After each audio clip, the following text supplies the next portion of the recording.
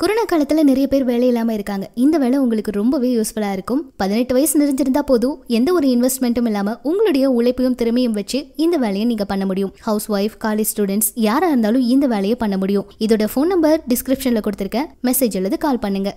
Hi மக்களே welcome back to my channel இன்னைக்கு நம்ம சேனல்ல முக்கியமான டாபிக் பத்தி தான் பார்க்க போறோம். தமிழகத்துல பிளஸ் டூ தேர்வுகள் ரத்து அப்படின்னு முதல்வர் மு ஸ்டாலின் அறிவிச்சிருக்காரு. அதை பத்தி டீடைலா இப்ப நம்ம வீடியோல போய் பார்க்கலாம். வீடியோக்குள்ள போறதுக்கு முன்னாடி மறக்காம நம்ம சேனலை சப்ஸ்கிரைப் பண்ணுங்க. பக்கத்துல இருக்க நோட்டிபிகேஷன் பெல் ஐக்கோனையும் பிரஸ் பண்ணிக்கோங்க. அப்பதான் நாங்க போடுற அடுத்தடுத்த வீடியோஸ் உங்க மொபைல தேடி வரும். வாங்க இப்ப வீடியோக்குள்ள போலாம். இந்த வீடியோ உங்க எல்லாருக்குமே ரொம்ப யூஸ்ஃபுல்லா இருக்கும். சோ ஃபுல்லா ஸ்கிப் பண்ணாம பாருங்க. தமிழகத்தில் பிளஸ் டூ பொது தேர்வுகள் ரத்து செய்யப்படுவதாக முதல்வர் மு ஸ்டாலின் அறிவித்துள்ளார். இது குறித்து அவர் விடுத்துள்ள அறிக்கையில் என்ன சொல்லியிருக்காரு அப்படின்னு நம்ம பார்க்கலாம். நாடு முழுவதும் கொரோனா பெருந்தொற்று இரண்டாம் அலையின் காரணமாக பல்லாயிரக்கணக்கான பொதுமக்கள் பாதிக்கப்பட்டுள்ளனர். தமிழ்நாடு அரசு போர்க்கால அடிப்படையில் இப்பெருந்தொற்றிலிருந்து மக்களை பாதுகாக்க அனைத்து நடவடிக்கைகளையும் செவ்வனே செய்து அதில் வெற்றியும் பெற்று வருகிறது. இந்நிலையில் பனிரெண்டாம் வகுப்பு பொதுத் தேர்வுகளை எழுதவிருக்கும் மாணவர்களின் கல்வியிலும் பாதுகாப்பிலும் மிகுந்த அக்கறை கொண்ட தமிழ்நாடு அரசு பொதுத் தேர்வுகள் தொடர்பாக பல்வேறு தரப்பினரையும் கலந்து ஆலோசித்து தகுந்த நடவடிக்கைகளை எடுத்து வருகிறது. இப்பெருந்தொற்றின் தாக்கம் காரணமாக ஒன்றிய அரசு மத்திய இடைநிலை கல்வி வாரியம் மூலம் பனிரெண்டாம் வகுப்பு மாணவர்களுக்கு இந்த ஆண்டு நடக்கவிருந்த பொதுத் தேர்வை ஏற்கனவே ரத்து செய்துள்ளது. பல்வேறு மாநிலங்களும் இதே காரணத்திற்காக தத்தமது மாநில பனிரெண்டாம் வகுப்பு பொதுத் தேர்வுகளை ரத்து செய்துள்ளன.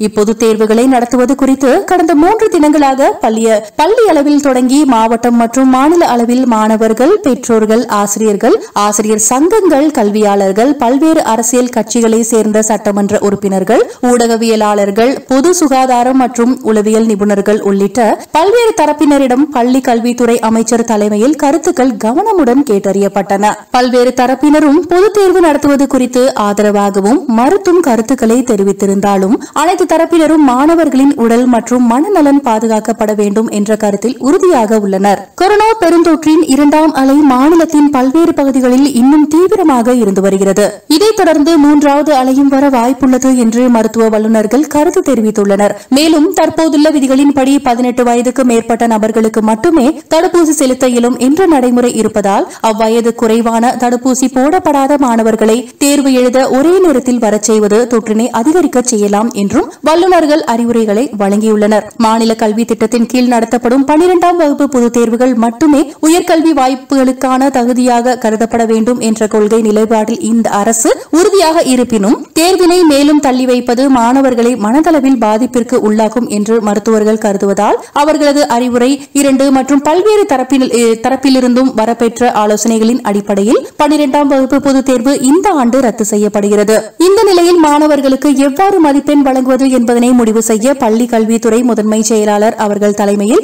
உயர்கல்வித்துறை செயலாளர் சென்னை பல்கலைக்கழக துணைவேந்தர் பள்ளி தலைமை ஆசிரியர்கள் ஆகியோரை கொண்ட ஒரு குழு அமைக்கப்படும். இக்குழு மாணவர்களுக்கு எவ்வாறு மதிப்பெண் வழங்குவது என்பது குறித்து ஆய்வு செய்து விரைவில் அரசுக்கு அறிக்கை சமர்ப்பிக்கும். இக்குழு சமர்ப்பிக்கும் அறிக்கையின் அடிப்படையில் பனிரெண்டாம் வகுப்பு மாணவர்களுக்கு இறுதித் தேர்வு மதிப்பெண் வழங்கப்படும். அவ்வாறு வழங்கப்படும் மதிப்பெண்களை கொண்டு மட்டுமே தமிழகத்தில் உள்ள அனைத்து உயர்கல்வி நிறுவனங்களிலும் சேர்க்கை நடைபெறும். பெருந்தொற்றின் காரணமாக காரணமாக தமிழ்நாட்டில் பொதுத் தேர்வுகள் முழுவதுமாக ரத்து செய்யப்பட்ட நிலையில் அகில இந்திய அளவில் நடத்தப்படும் நீட் போன்ற நுழைவுத் தேர்வுகளை நடத்துவது உகந்ததாக இருக்காது என்று தமிழ்நாடு அரசு கருதுகிறது. இதுகுறித்த அறிவிப்புகள் இதுவரை எதுவும் வெளிவராத நிலையில் உயர்கல்விக்காக நடத்தப்படும் பல்வேறு நுழைவுத் தேர்வுகளையும் ரத்து செய்ய வலியுறுத்தி நரேந்திர மோடிக்கு கடிதம் எழுதியுள்ளேன். கொரோனா பெருந்தொற்று காலத்தில் மாணவர்களின் உடல்நலன் மற்றும் மனநலனை கருத்தில் கொண்டு மட்டுமே இந்த முடிவு எடுக்கப்பட்டாலும் மாநில கல்வி திட்ட அடிப்படையில் உயர்கல்வி சேர்க்கை எந்த விதத்திலும் பாதிக்கப்படாமல் இருப்பதை தமிழக அரசு உறுதி செய்யும். இவ்வாறு தமிழக முதல்வர் மு ஸ்டாலின் அவர்கள் தெரிவித்துள்ளார். இந்த கருத்தை பத்தி நீங்க என்ன நினைக்கிறீங்க அப்படின்னு சொல்லிட்டு உங்களோட கருத்துக்களை மறக்காம கமெண்ட் செக்ஷன்ல எங்க கூட ஷேர் பண்ணுங்க.